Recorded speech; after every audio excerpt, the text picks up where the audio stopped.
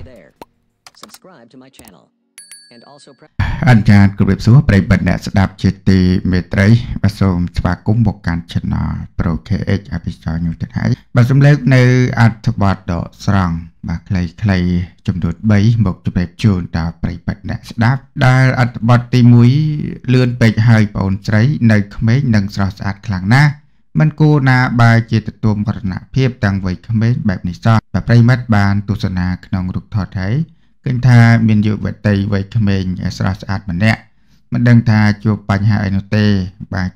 រហូតដល់បាត់បង់ជីវិតបែបនេះ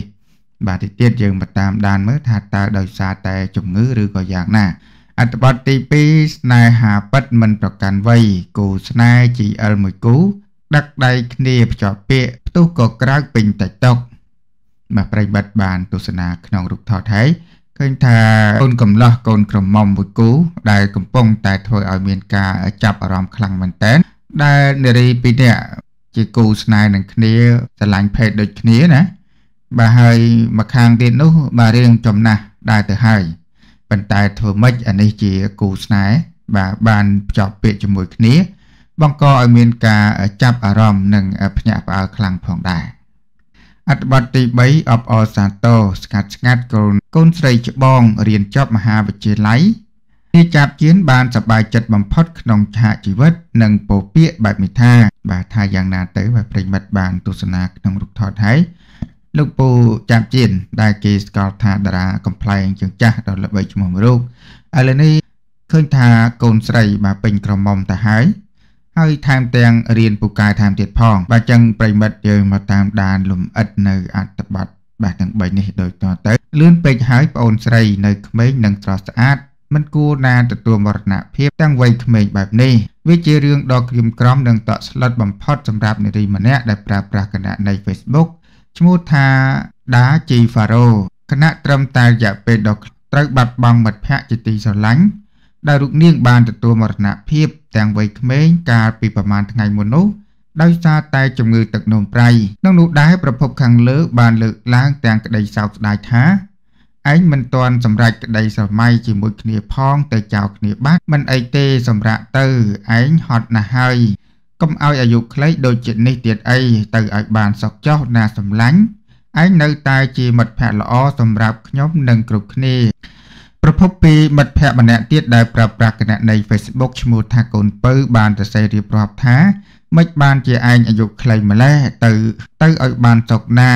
ជាតិក្រោយកុំឲ្យអាយុខ្លីដូចជាតិនេះទៀតអីចំណែកឯបងស្រីដែលមានគណនី Facebook ឈ្មោះថាជំនីបានរៀបរាប់ថា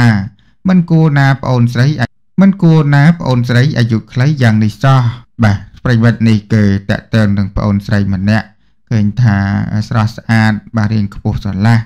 ដោយសារតែជំងឺទឹកនោមប្រៃបានទទួលមរណភាពទាំងវ័យក្មេងហើយខ្ញុំបាទមានតែចូលរួមរំលែកទុកដល់ក្រុមគ្រួសារសពសូមឲ្យមានខានប្អូនស្រី ទៅកាន់សុគតិភពកំបីគង្ឃ្លាឡើយអរគុណប្រិមិត្តសូមបញ្ចប់នៅអត្ថបទខ្លីនេះហើយយើងមកតាមដាននៅអត្ថបទមួយទៀតស្នេហាពិតមិនប្រកាន់វ័យគូស្នេហ៍ GL មួយគូ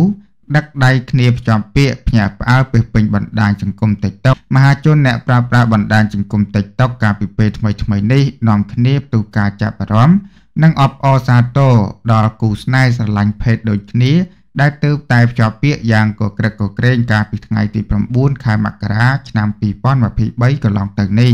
ជាក់ស្ដែងតាមរយៈគណនី TikTok កូនក្រមុំបានបង្ហាញវីដេអូផ្អែមល្ហែមនិងកក់ក្ដៅរវាងអ្នកទាំងពីរ រហូតដល់បានចាប់ដៃគ្នាចូលពិធីភ្ជាប់ពាក្យស័ក្តិសមជាគូស្នេហ៍ច្បាស់លាស់នឹងគ្នាយ៉ាងមានក្តីសុខទន្ទឹមទៅនឹងការកោតសរសើរស្រាប់តែមានអ្នកប្រើប្រាស់បណ្ដាញសង្គមខ្លះបានបញ្ចេញទៅលើគូស្នេហ៍ខាងលើថាចាយស្អាតណាស់មិនបានជាចាយទៅអញ្ចឹងទុកកូនក្រមុំធ្វើការឆ្លើយតបថាអរគុណអូនដែលទៅសើបងស្អាតហើយធ្វើម៉េចបើព្រមលិខិតកំណត់ឲ្យបងស្រឡាញ់មនុស្សស្រីដូចគ្នាហើយ បងមិនដឹងកាយចរិតឲ្យមកស្រឡាញ់មនុស្សប្រុសវិញយ៉ាងម៉េចទេ បាទប្រិមិត្តនេះគឺតកតើងនឹងការចាប់អារម្មណ៍ទៅលើគូស្នេហ៍មួយគូស្រីស្រឡាញ់ស្រី បាទនេះនារីម្នាក់ទៀតឃើញថាបាទរៀងវ័យចំណាស់ហើយនារីកូនកំមុំនេះ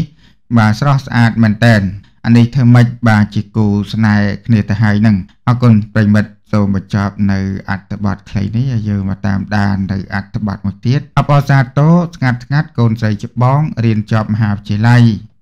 ហើយជាសិស្សឆ្នាំទៀតលោកចាប់ជៀនសប្បាយចិត្តខ្លាំងបំផុតក្នុងឆាកជីវិតក៏បានពោលពាក្យបែបនេះថានិយាយដល់តារាកំ pl ែងនិងតារាសម្ដែងលោកចាប់ជៀនប្រិមិត្តច្បាស់ជាបានជ្រាបចាក់ជាមិនខានថារហូតមកដល់ពេលបច្ចុប្បន្ននេះលោកបានបន្សល់ទុកនៅស្នាដៃសិល្បៈជាច្រើន ហើយប្រជាប្រិយភាពរបស់លោកហាក់មិនថមថយនៅឡើយទោះបីជាមានវ័យកាន់តែជ្រេក៏ដោយចុះលោកចាប់ជៀនមានឈ្មោះពិតប្រាកដថាអុកសវណ្ណរិទ្ធកើតនៅថ្ងៃទី4ខែឧសភាឆ្នាំ1964នៅសង្កាត់លេខ3ខណ្ឌទួលគោករាជធានីភ្នំពេញកើតនៅមន្ទីរពេទ្យកាឡម៉ែតលោកមានបងប្អូនចំនួន4នាក់ប្រុស3នាក់និងស្រីម្នាក់ ហើយគាត់ជាកូនបងគេក្នុងចំណោមកូនទាំង4នាក់នោះលោកបានរៀបមង្គលការជាមួយអ្នកស្រីសែនសវណ្ណធីនៅឆ្នាំ1996ដល់ឆ្នាំ1997ដែលពេលនេះក៏ទទួលបានកូនចំនួន3នាក់ហើយក្នុងនោះស្រី2នាក់និងប្រុសម្នាក់ចំពោះកូនស្រីច្បងឈ្មោះថាអុករិទ្ធីនីតពេលនេះមានអាយុប្រហែល23ឆ្នាំ កូនប្រុសទី2ឈ្មោះថាអុករិតរ៉ូឡិនដូអាយុប្រហែល20ឆ្នាំ និងកូនស្រីម្នាក់ទៀតឈ្មោះថាអុករិទ្ធីរីហាណាអាយុប្រហែល11ឆ្នាំអ្វីដែលគួរឲ្យកោតសរសើរពេលនេះកូនស្រីច្បងរបស់លោកបានរៀបបានរៀនចប់មហាវិទ្យាល័យហើយនឹងជាសិស្សឆ្នើមប្រចាំថ្នាក់ថែមទៀតផង បង្ហោះភ្ជាប់ជាមួយនឹងរូបថតកូនស្រីច្បងទទួលសញ្ញាបត្រលោកចាបជៀនបានបង្ហាញអារម្មណ៍កាលពីថ្ងៃទី7ខែមករាឆ្នាំ2023សម្រាប់ជីវិតខ្ញុំ នេះគឺជាថ្ងៃដែលខ្ញុំសប្បាយរីករាយបំផុតរកអ្វីប្រៀបផ្ទឹមពុំបានព្រោះបានឃើញកូនស្រីច្បងរៀនចប់មហាវិទ្យាល័យហើយទទួលបានលទ្ធផលល្អជាសិស្សឆ្នាំប្រចាំថ្នាក់រហូតដល់បំណាច់ឆ្នាំ បន្ទាប់មកកូនស្រីទី2ទៅតែប្រឡងបាក់ឌុបជាប់បញ្ចប់ថ្នាក់ទី12ត្រៀមចូលមហាវិទ្យាល័យហើយសង្ឃឹមថាកូនប្រុសខ្ញុំនឹងទទួលបាននិទេសល្អដោយបងស្រីគេចាក់ជាពុំខាន ចំណែកឯកូនស្រីពៅទៅរៀនថ្នាក់ទី6នៅឡើយទេប៉ុន្តែខ្ញុំជឿជាក់ថាកូនស្រីពៅខ្ញុំនឹងយកបងបងរបស់គេធ្វើជាគំរូកូនល្អស្ដាប់ហេតុផលម៉ែសិស្សពូកែស្ដាប់ហេតុផលគ្រូ គ្រូពូកែស្ដាប់ហេតុផលសិស្សឪពុកម្ដាយល្អស្ដាប់ហេតុផលកូន នៅលើលោកនេះគ្មានអ្វីប្រះចាកហេតុនិងផលឡើយស្របជាមួយនឹងពុទ្ធដីកាមួយឃ្លាបុគ្គលដែលសាព្រោះពូជណា រមែងតែងតែទទួលបានផលនឹងពូជនឹងប្រិមិត្តនេះគឺតកតើនឹងនាយចាំជៀនបានបង្ហោះសារយ៉ាងមានអត្ថន័យហើយក៏បានអបអរសាទរទៅដល់កូនស្រីច្បងដែលរៀនចប់មហាវិទ្យាល័យហើយថែមទាំងជាសិស្សពូកែអគុណប្រិមិត្តសម្រាប់ការតាមដាននៅអត្ថបទខ្លីទាំង3នេះ